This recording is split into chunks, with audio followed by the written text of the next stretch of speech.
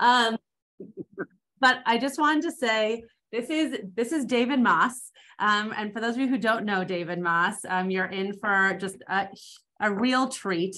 Um, and I, there are so many people on here who I also don't know. And so you probably know David Moss and don't know me. So I'm Rabbi Rebecca Schatz. Um, I'm, one, I'm the associate rabbi here at Temple Beth Am. And um, and David is just a phenomenal artist and someone who brings real beauty to Judaism, both in the way that he talks about it, but also in the way that he creates it. Um, and I'm very lucky to not only call him someone I know as an artist, but as a friend. And just uh, it's lovely to see you on screen. We would have loved to have you in person, um, but we understand that uh, being in Jerusalem is is definitely much more exciting right now than it is to be in rainy Los Angeles. Um, so thank you so much for being here, David. Sorry for all the technical difficulties, but as you can see, you have uh, you have many fans who do not care when you start. We're just excited to be able to learn from you. So Baruch haba, and thank you for uh, thank you for teaching us this morning. Thank you, thank you, Rebecca. Thank you all for your patience. I really this never happened before, but um, we'll move along. I just thank you all so much. Great pleasure to be here uh, with the uh, Beth Am community, and uh, especially since the long connections with the Goodglicks and the and the Peter Siles and the Camp Ramah and Pressman kids, and it's all all coming together. Um, so um, I want to I want to just before I start, I'm going to do a PowerPoint so you can see the uh, the images close, and I'll take you through. But just I wanted to show you the book before we start, just so you can get an idea of the scale of it, of the Haggadah that I did, and a few of the special techniques that don't show up in the um, slides so well. It's good for detail, but to see things like this, that's paper cut from both sides, working on both sides, or put little tags. You see how this goes over and then the paper cut lets the image show through from below.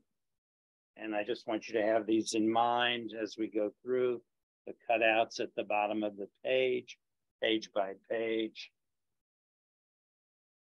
The mirrors that reflect as you open it that you'll see more of later, and one or two more.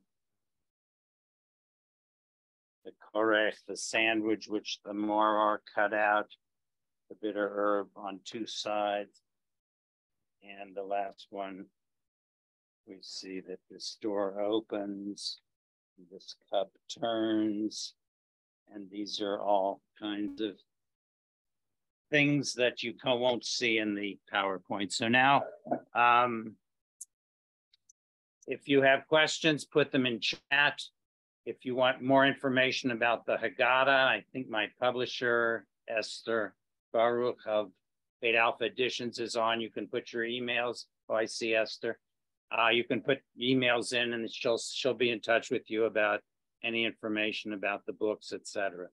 Um, there's also from Bet Alpha since this is about Pesach, this set of free downloadable pamphlets for Seder use called Siman Tov that I did during the uh, COVID, so people can download them for free, print them, and use them at Seder.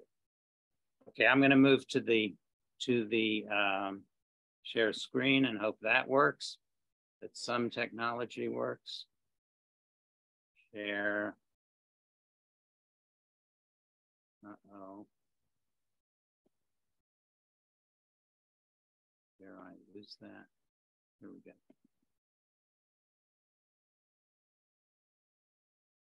Okay, can you see my screen? Thumbs up if you can see my screen. I assume you can. Okay.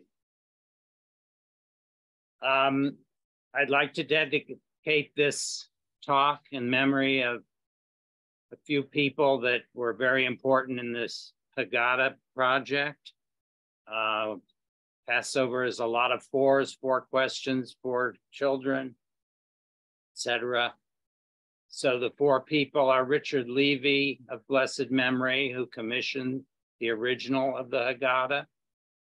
Neil and Sharon Norry, who, when they saw the photographs, said it's unacceptable that there's one copy of this book in the world, and were determined to publish it in this perfect facsimile edition.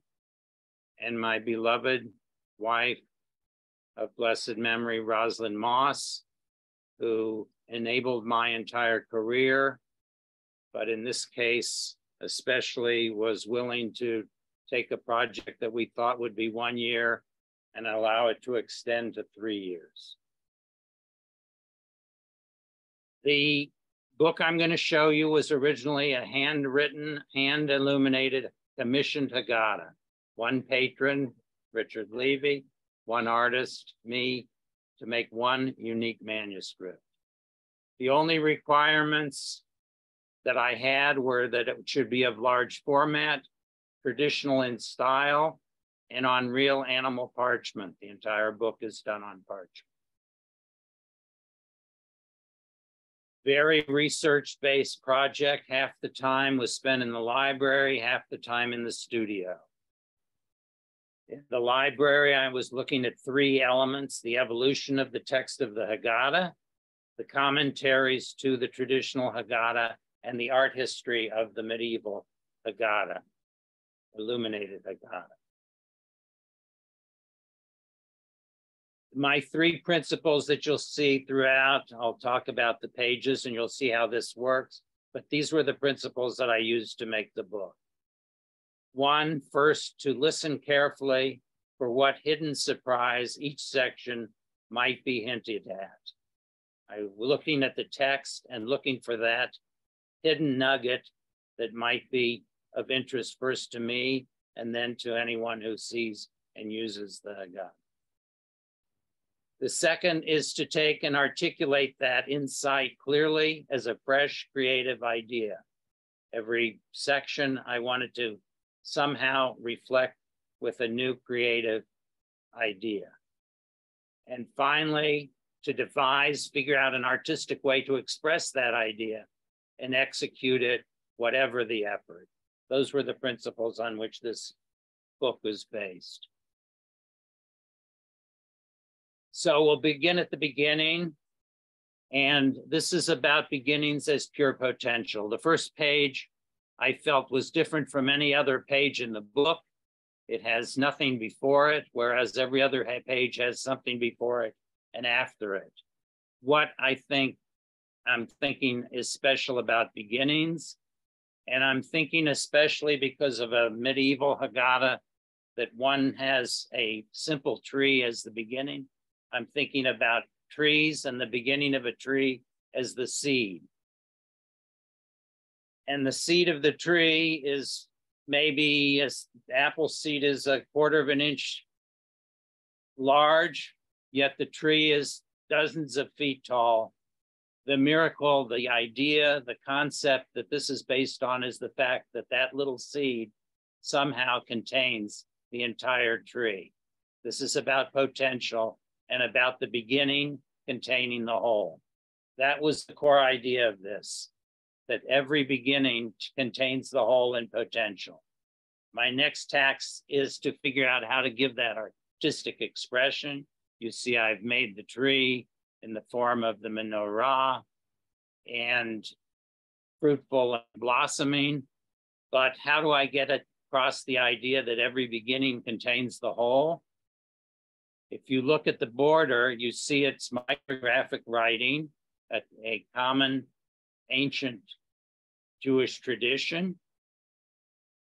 And it contains the entire Haggadah. In other words, page one is the beginning, contains everything that's later to come, just as the seed of the tree contains that entire tree potential.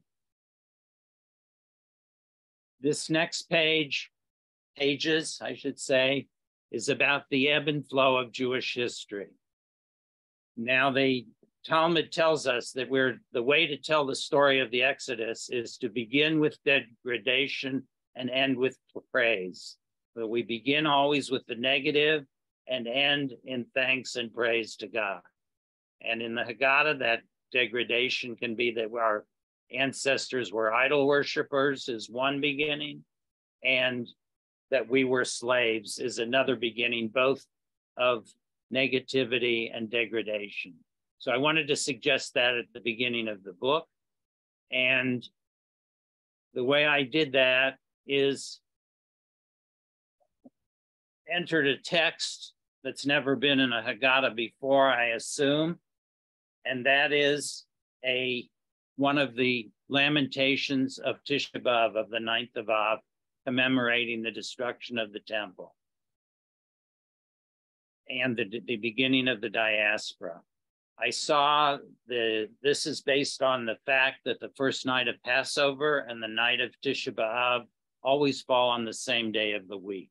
So there's some connection between the holiday of our liberation and our moving from the diaspora to the land of Israel, Passover, and the opposite, the end of our sovereignty and our having to go into exile, Tisha B'Av. So I quoted this beautiful lamentation that uses these two metaphors when I it's in the first person. Everything was joyous and happy when I went out of Egypt, and everything was doom and gloom when I went out of Jerusalem. And it goes back and forth and back and forth. It's an alphabetic acrostic. I put the letter that each verse starts with in its in a little book. And you'll see the detail. Each each stanza is a different subject or metaphor for the Exodus and the destruction. And you see that I wrote the happy ones in large letters, the first half of each verse in the large letters. And if you can see below in the tiny micrographic writing, this time in mirror writing, is the part, the sad part about going out of Jerusalem. The little orange squares are a Hebrew calendar from the year I started the Haggadah to the Jewish year 6000 for what day of the week Passover and Tisha B'Av will fall every year.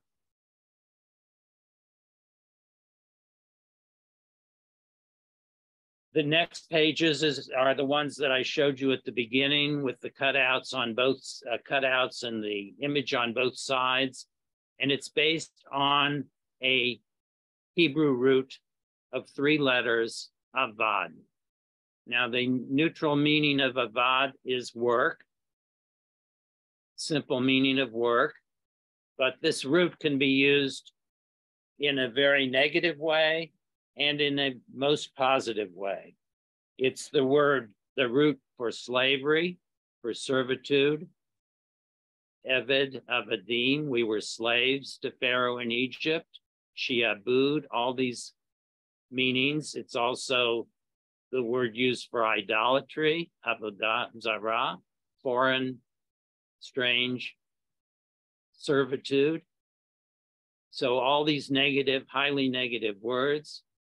But on the other hand, it's also the most positive because it is the root for service, avodat Hashem, serving God, avodah shebelev, which is this her service of the heart, which is prayer. Again, as I showed you at the beginning, that's this core idea I'm looking for. Cool. One root of three letters contains both the most negative and the most positive. We're used to always saying that that that Seder night and the holiday of Passover celebrates our going from free from slavery to freedom, which is absolutely true. But another way of putting this, if you look at that root of vad, is that we're going from one kind of avodah and work, which is enforced work, slavery for a human being or a human goal, to divine service. English also captures it a little bit from servitude to service, same root.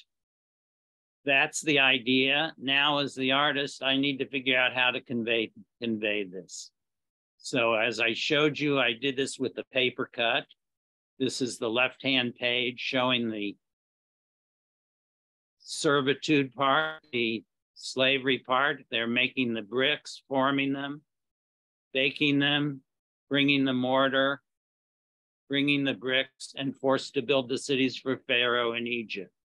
The micrographic border going around are all biblical verses in which the root avad has the meaning of servitude or slavery.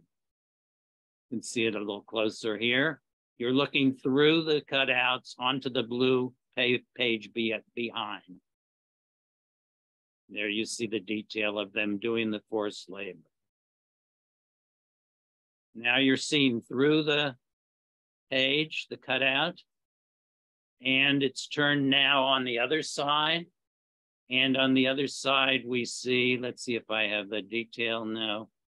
You see they're now milling the wheat, bringing the water, pouring, mixing, kneading, and baking the matzot for Passover. They're gone from servitude to service. They're doing the mitzvah of baking the matzah for Passover.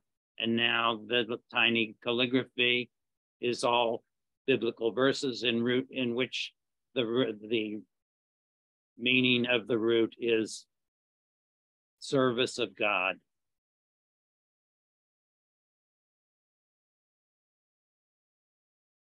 Never ending quest. I'm going to run through some of these more quickly than others, uh, just because of our time limitations. Um, but uh, this has to do with looking at a thing at its essence. It's the search for leaven, which we take every single particle of leaven and we burn it and we sell it and we get rid of it and we wrap it up and we have to get rid of every single particle. So I'm looking at this kind of quest in the outer world, in the scientific world on the right, and the inner world, the spiritual or inner world on the left. Here you see we're looking at the grain, the wheat on the stalk, seeing it closer, down to the wheat kernels, cutaway section, down to the starch, and down to the enzyme. These last four are based on the enzyme beta amylase, which is responsible for the fermentation that makes the five grains that were forbidden uh, rise and be leavened. So this idea of the scientific inquiry, you never get to the end. You're always looking deeper and deeper and deeper. This is the search for leaven, and I'm trying to look at that searching process itself. On the other side, there you see the details. And on the other side, there's a long text from the Alshich HaKadosh and he's talking about the search for leaven as a spiritual inner search. Again, the psychological inner search never ends. You keep going deeper and deeper and deeper. So this, I, I, I this is inspection and introspection, the outer world and the inner world. That's my metaphor for the search for leaven. Seder, of course, means order, and this is the traditional order of the Seder, Kadesh Urachatz, a memory device to remember the, the way each step, we have 15 steps of the Seder, and this is the way I depicted them. I put the Seder plate in the middle, the haroset, shank bone, maror, parsley, and egg, the four cups of wine here, three matzot that we eat, and two times we wash. So these are all the objects we use through the night. And over here, we are seeing that each of these miniature steps is a miniature of this. And the blank one points you to what object you take throughout the night. So this is a kind of visual graphing of the entire Seder of the 15 steps of the Passover Seder. And then I quote throughout the book, I quote these objects as we take them visually. I quote them graphically as we take each one. Kadesh, Urachatz. Kadesh points you to cup one. Rachatz sends you over to washing one, etc.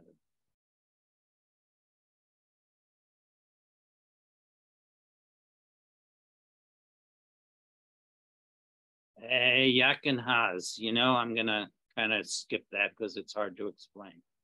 And uh, it's interesting, but it's based on medieval German Haggadot, which used the acronym for remembering the order of the of the of the Kiddush for Saturday night and compares it to a rabbit hunt. Very famous in Jewish art, and this was my interpretation.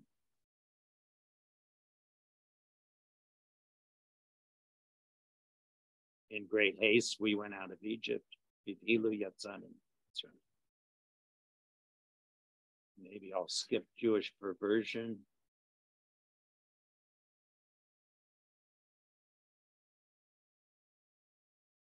The four questions are done also as a paper cut.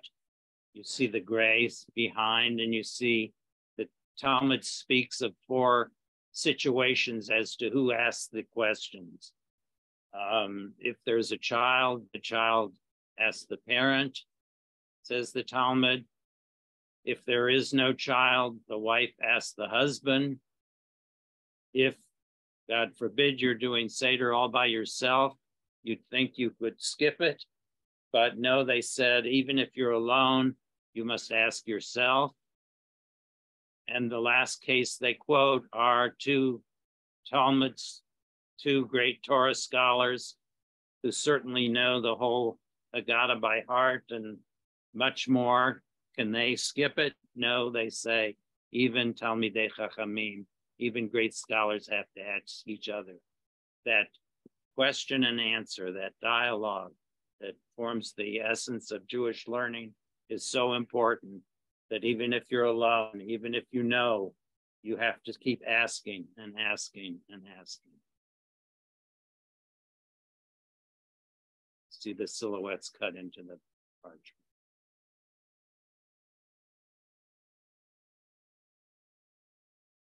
We now get to the answer to the question of Avadim Hayinu. Our, our ancestors were slaves to Pharaoh in Egypt, and God brought us out from there with a great strong hand and an outstretched arm. And if God had not brought us out from there, then we and and our our descendants would still be slaves in Egypt.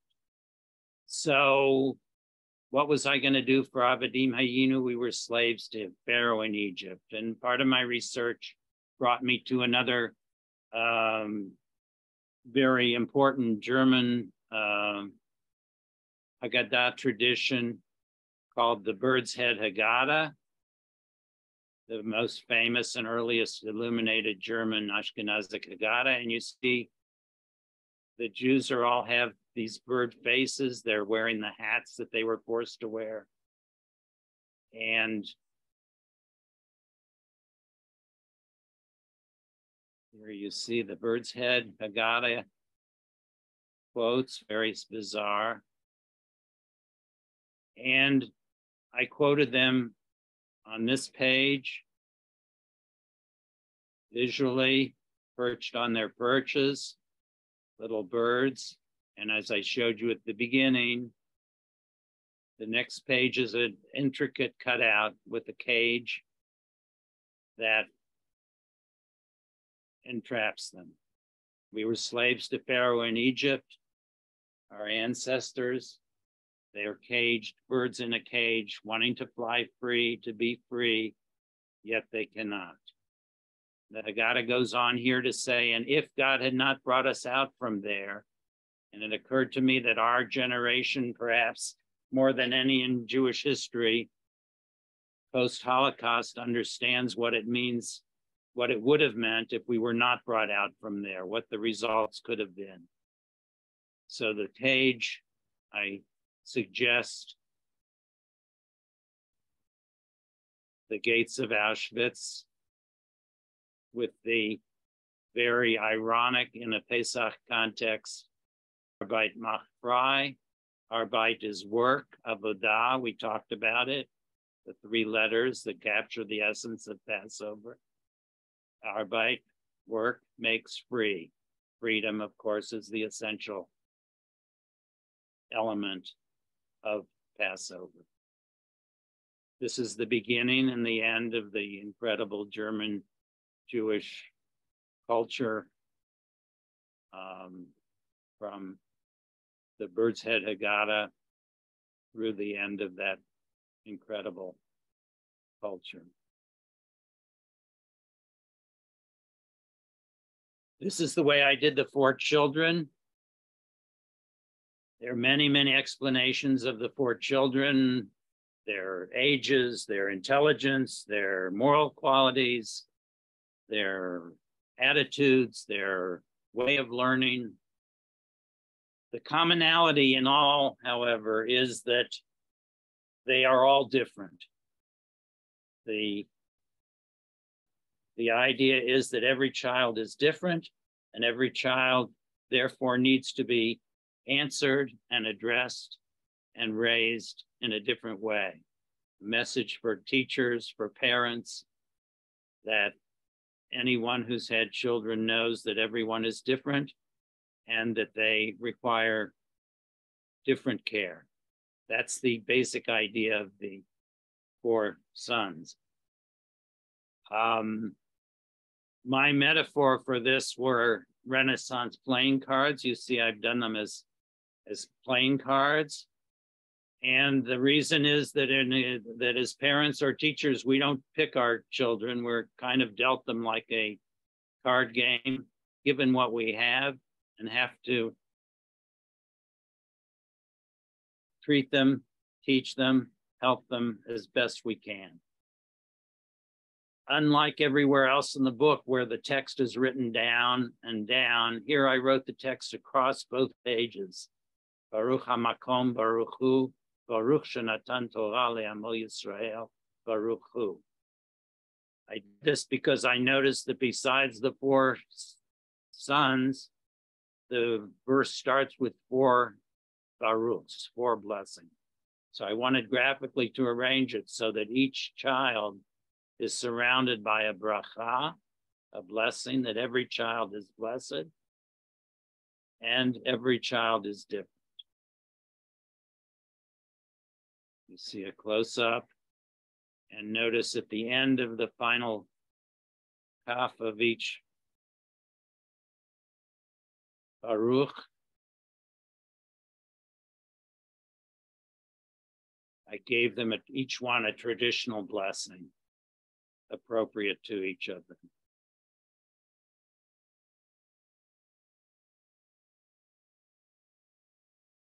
For time, I'm going to move on. The plagues, the text of each plague in the micrography going around as it appears, the text as it appears in Exodus. Dayenu, the stepped psalm, song of if God had done this and not done that, it would have been I did it very structurally like steps with Elu below, Elu below. And as I showed you at the beginning, the steps also cut into the pages at the bottom as we go through. Looking down to that seal, which we'll get to in about four, five or six pages. The three symbolic foods, Pesach, Matzah, and Maror, I each I devoted a whole page to each one. Pesach, the Paschal sacrifice. Matzah and maror, the unleavened bread and the bitter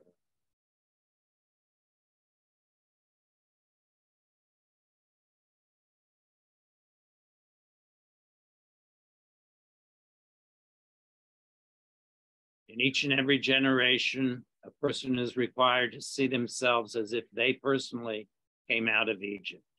This is perhaps the essence of the telling of this tale that it's not just a historical event that happened thousands of years ago, but we must figure out a way to so identify with it that we ourselves feel like we are coming out of out of Egypt, coming being liberated and move to freedom during this ceremony tonight.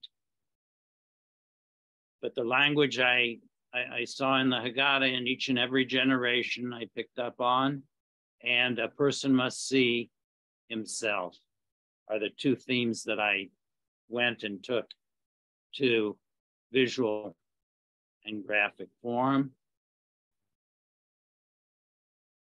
In each and every generation, I did research and found how Jews actually dress. The men are over here, the women are over here. In every generation, going from Egypt to our modern times, the whole door door. Between each portrait, I placed a mirror, a real little um, acetate mirror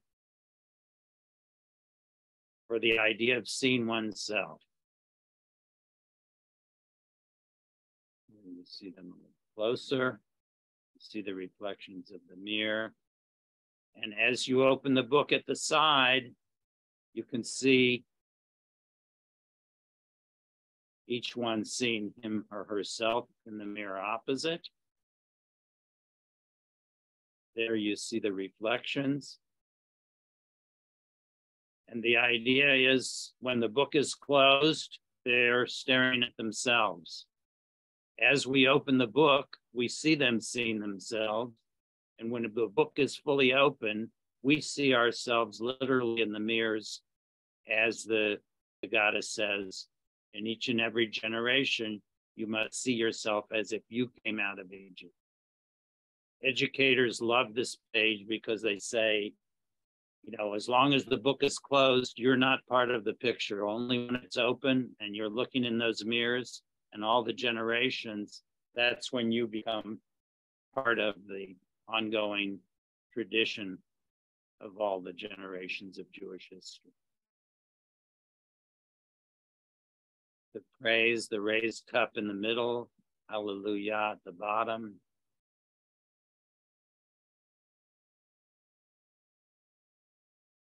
the psalm, the Psalms of Hallel begin here, but Seit Yisrael Mitzrayim, when Israel came out of Egypt.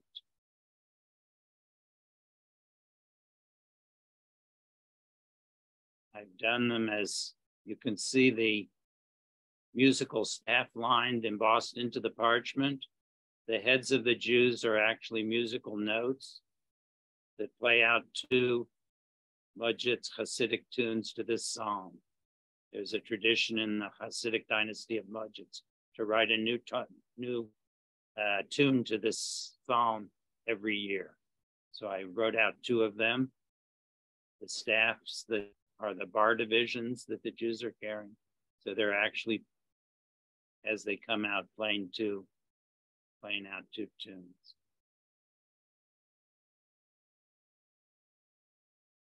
Here's that seal we saw about five pages ago, and we were looking through the, the steps.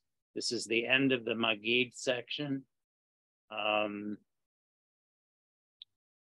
and uh, the Mishnah says that we have to seal it off. You have to end it with this blessing, this telling of the tale. You have to end off with this long blessing, thanking God as Redeemer of Israel. But the language that's used is that you have to be chotem begeulah. You must seal it with redemption. And it means this long blessing of redemption. But again, I took it literally and used a First Temple Hebrew seal here at the bottom, which had belonged to a, uh, I borrowed it from the Israel Museum. And they made a, an impression of it from the original First Temple seal. It had belonged to a Jew named Shalem or Shalom. and it says Lishalom on it. Um, I enlarged it here so it fits within the text. Likratenu Lishalom.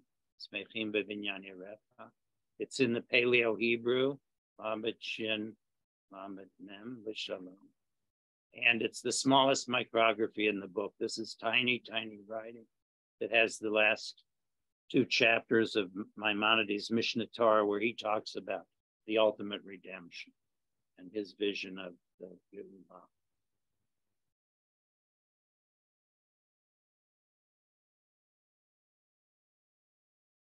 You'll recall that there are places throughout when we drink the wine and eat the matzah that we're required to lean as a sign of freedom and leisure.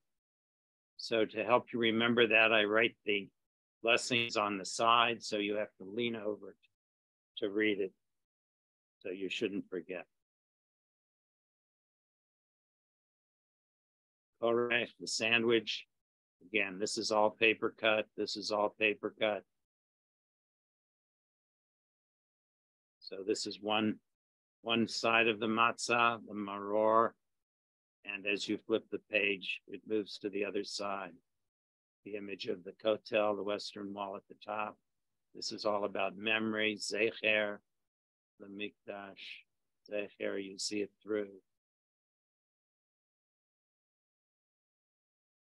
The set table on the right, place to list the guests, the names of the guests that come every year to the Seder on the left.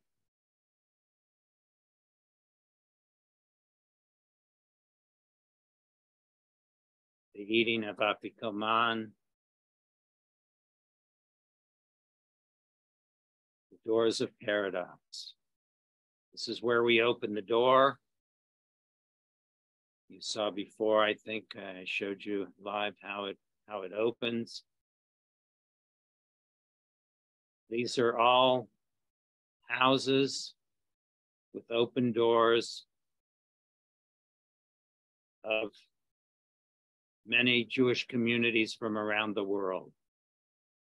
The text that each community recites is different at this point. Here you see it being open so you can reveal the text beneath and the text is each written in the language of that country. These none of these are Hebrew. These are Jewish languages from all over the world in a map of that country with the text that they say at this point in the Seder in their own Judeo dialect, Yiddish, Ladino, Judeo Tat, Judeo Italian, and the open door. Pour out, the cup actually turns, as I showed you before. This is for you, LA people. Hallelujah. Let the la la, the birds singing, the Hallel is reiterated in the micrography and the birds. The notion of song and praise and singing.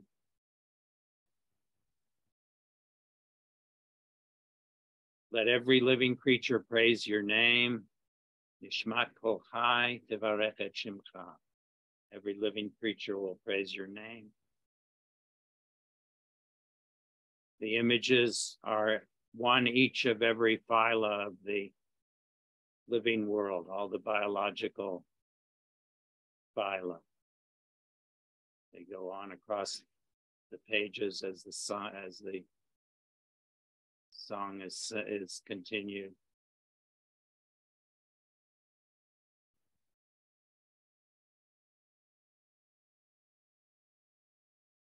The land and the fruit of her vine. This little book at the end there are two variants on the blessing after the wine, one for wine from the land of Israel and one for wine outside of the land of Israel. And I put them in a little book, which you can open and it can flip either way. The, the fruit of the vine or the fruit of her vine. if it's wine from Israel. Next year in Jerusalem, the final page. This echoes the first page, which was the whole Haggadah. And next year in Jerusalem, rebuilt the walls of the old city, seen both from the side and the top simultaneously. And now, this time, the micrography, the micrographic writing is 70 different verses with 70 different names for Jerusalem. The names in red and the dressed in black. And some of our kids are even in there. You'll see the dotted. Kirya Aliza, the happy center. Aliza is one of Lisa is one of my daughters. Here's Ariella. Ariella is a name for Jerusalem, and Ayona for young. This was pre Jackie, so she didn't get in. And I don't know that Jackie is a name for Jerusalem anymore. The Haggadah really ends here at next year in Jerusalem. All the songs were added in the late Middle Ages.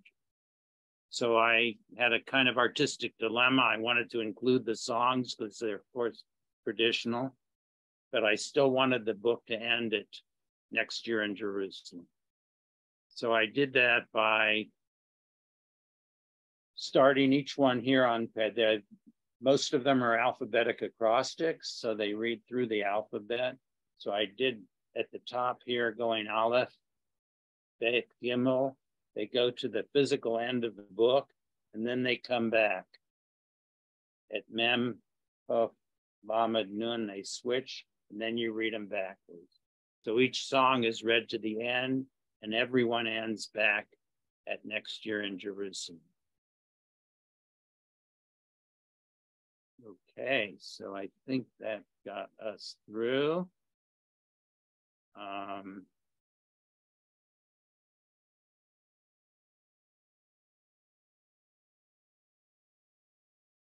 Uh, just a bit about the, the history of the book.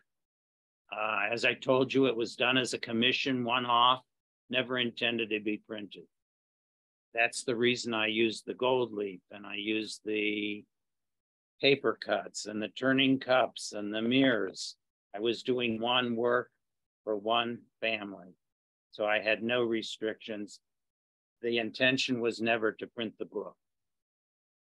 Um, as I mentioned at the beginning, a few years after I finished it, the Norry family saw the photographs I had and said it's unacceptable that there's one copy of this book in the world.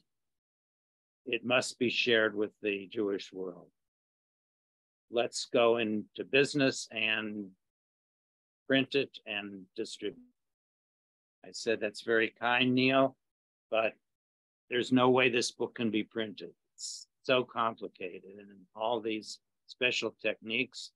But he was insistent and he said, No, we will find someone, you will find someone somewhere in the world that can print this book to your satisfaction, make an exact duplicate of it down to the every technique, the colors, the size, the detail. And our family moved to Europe for a summer, and I was running off every week to Austria and Switzerland and France and Italy um, looking for a printer and finally found this incredible printer, Martino Mardersteig in Verona, Italy. I looked at his work and knew immediately that he could do it. He looked at the photographs and knew that he could do it. And it took a year. We borrowed the back book back and produced this perfect facsimile copy with all the paper cuts, the hand applied mirrors. It's in comes in two volumes. The second volume, because of the research and the idea base of this book, I felt there had to be a second volume where for each page of the book, I wrote an article explaining the ideas behind it, what went into it, and how I got to it. So those are the, the two volumes that come with the facsimile edition. This is the companion volume. It has the, the notes on each page in Hebrew and English and a duotone reprint of the Aggadah for. We later then published a trade edition, now in its fourth printing, and a deluxe edition, which is sort of in between the two. If you're interested, put your emails in the chat. Esther will reach out to you.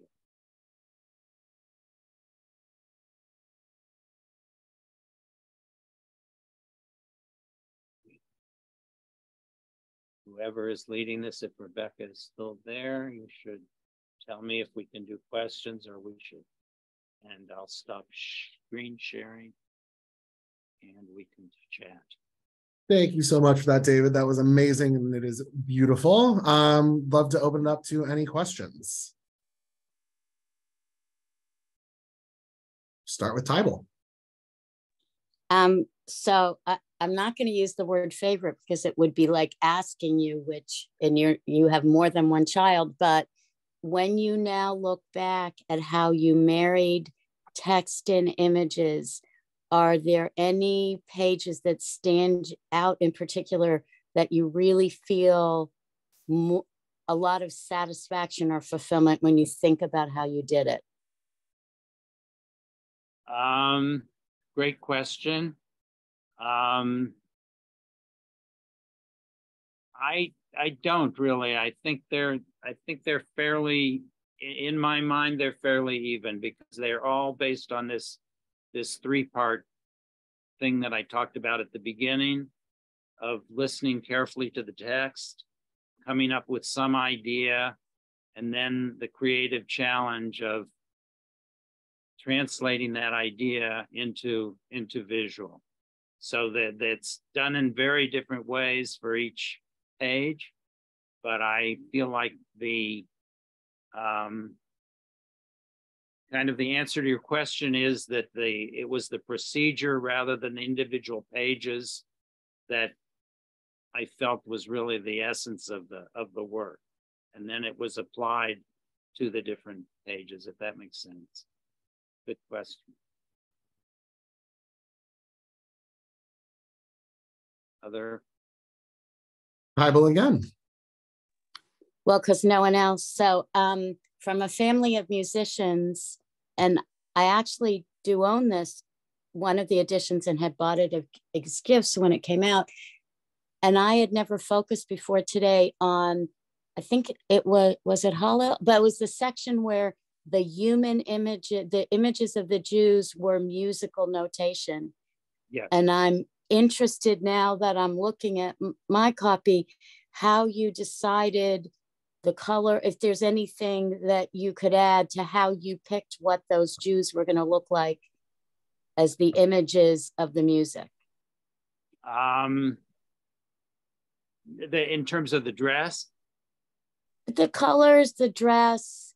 The... No, that it was it was fairly random. The the um the musically well first the the you know, if you're a musician, you'll have uh, a great deal of trouble playing this because I wrote it from right to left the Hebrew way rather than the music way. So that's that's the first thing I should say about it.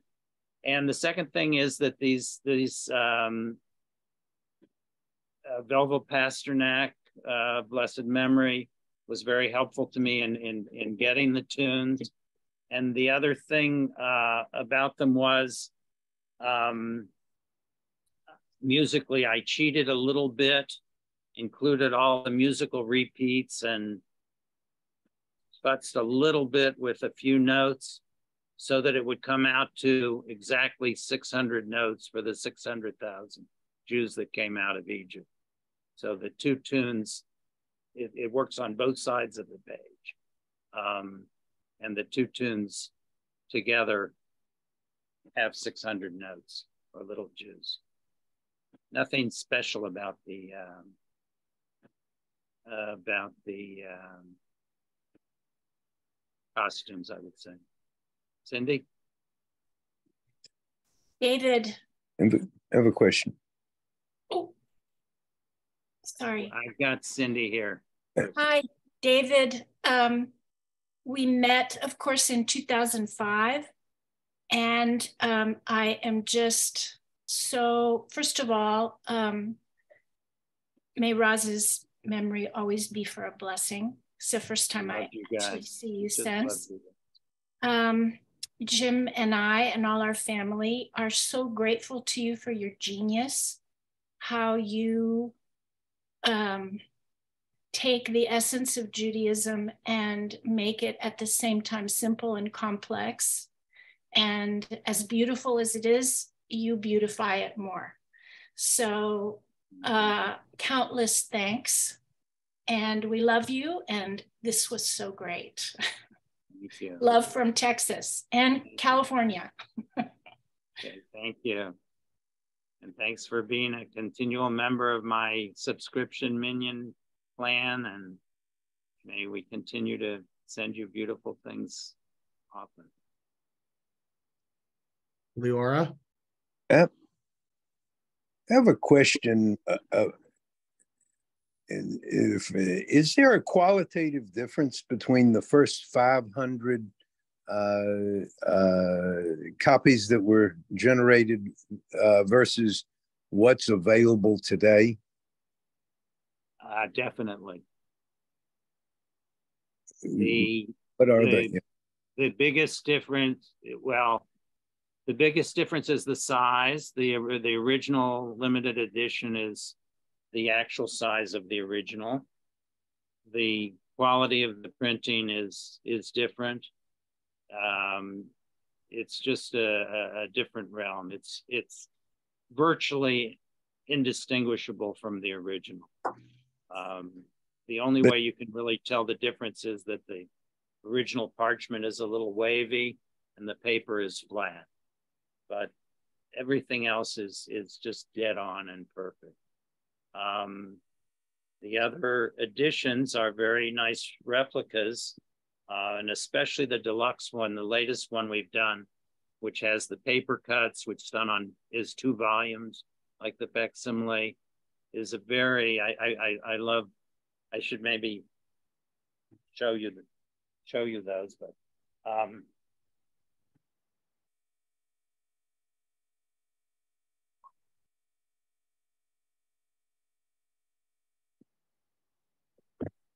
in my studio, so have them. This is the format of the both the uh, trade edition and the deluxe edition, but mm-hmm. the deluxe edition has the paper cuts, which is really makes it very special, and the very beautiful special paper that it's done on. It has the hand applied mirrors, and it, you know, for a for a commercial mm-hmm. reproduction, it's it's very good. It's two volumes with the Hebrew and English in the second volume, and the trade edition, which is done very well and it's been very popular, um, is also beautifully printed, and it has doesn't have the paper cuts, though it comes with a frameable paper cut. Both editions come with the frameable paper cut, and you know. The first edition was, was the first edition also done on parchment? No. It's on paper, but a paper made especially for the, for the book to resemble the parchment. You can't get the quality of printing on parchment. Other questions about the, the editions? There are also prints of some of the, uh, the pages that we did at the same time as the facsimile to the same quality. Um, Yeah, I have a question. Leora, go ahead. Thank you. So first, David, I, I have the trade edition, which I've had since I got married almost 32 years ago, and it's been with us at every Seder. And we also have both the frameable woodcut and um, this beautiful page on our wall, which is the right before the third cup um, in our dining room. So we look at these all the time. But, and I just appreciate, I just want to also add my thanks to um, the brilliance of this and how much it has enriched my Passover Seder's for 32 years. I have a question because, um, you know, there's a way in which a great work of art just seems like it should always have been like this and everything is perfect, but most people go through drafts. And I just wonder, were there places on the process of creating this where you um, got to a dead end and started all over? Are, are there any pages in it where it wasn't right at the beginning and you went to a new idea? Um, that's an interesting question, and it's a long time ago, so I'm not um, remembering perfectly. But um, if there were, I, I don't recall any. Um, at the beginning, I may have done some. I generally do very rough sketches on the on the parchment itself, uh, and basically work right on it. So my sketches would be done before on paper, very rough, and then I would just start working right on the parchment. I don't do a, I, I, would never do a, a uh, do it twice uh, as a practice or something like that. Um, so you know, I don't think I don't think there were, were any. There may have been one that I did two versions of. I, I seem to remember maybe one page that I did two versions of, but I basically worked, you know, worked straight through from beginning to end. Um, I should say that in, in terms of process, which is, is, is really what you're asking about, um, I deliberately, the first six months I worked on it, I deliberately uh, made no sketches or drawings. I was just strictly research and notes and ideas, and I, I just was was doing research and, and immersing myself in the book. Um, after about six months, then I started working page by page and would do sketches and and I'd work out ideas and drawings and that sort of thing, and then go to the parchment. Uh, so that that was kind of the process. Thank you. Beautiful. And thank you so much for this presentation. Really enjoyed it. You're welcome. Do we have any more questions for David?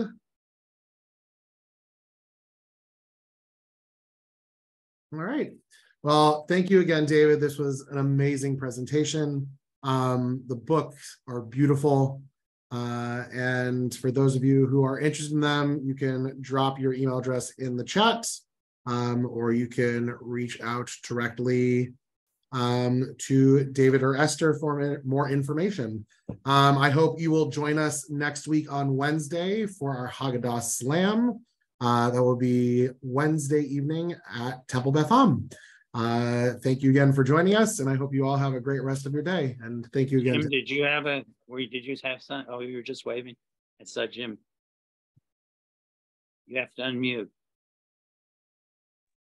David, it's just so wonderful to see you. Just so wonderful, and we're so happy to hear you talk about the Haggadah again. And it's all fresh and new, and we're so lucky to get to do it. And we thank um, Temple Beth Am because although we're in, in, Texas and from Texas, our children live in LA. They belong to Beth Am, and our granddaughter is at Pressman Academy. So, Temple Beth Am, we think y'all are great. And I've actually was there last week, walking my granddaughter into Pressman. So it was. So thank y'all for bringing David to us on the screen. Anyhow, you, look you look oh, you look good, and we love it's you. It's Rosh here and not there, so I'll wish you a good month of Nissan, and uh, Shabbat Shalom, and uh, Sameach to all. Thanks yeah. for coming on, those of you who I know and those of you who I don't. Hamon hamon toda v'chibuk gadol.